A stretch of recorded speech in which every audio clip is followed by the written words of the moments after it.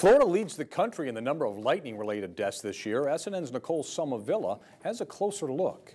Seven lightning deaths in Florida this year. The most recent, Friday, right here on the Suncoast. Sarasota resident Fontilla Span taking cover under a gazebo at Coconut and MLK. With 32 lightning deaths in the country, Florida takes the lead. But why? We're a peninsula, you know, we're not landlocked, and so there's always moisture going either from west to east or east to west in the state. Meteorologist Marco Lamano says with our record high temperatures, you have a lot of warm moisture that can rise and then it condenses once it gets up in the atmosphere and you get a lot of rain and storms from it. Sarasota science teacher Bill McCracken says safety tips are standard. Stay away from water, trees, and get inside. But sometimes you're in the wrong place at the wrong time. Negative feelers coming down, looking for a positive feeler coming back up.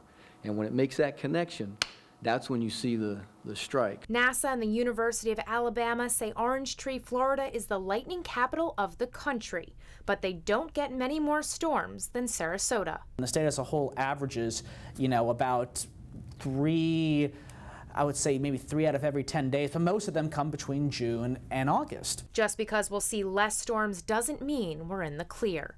Reporting in Sarasota County, Nicole Somavilla, SNN, the Suncoast News Network.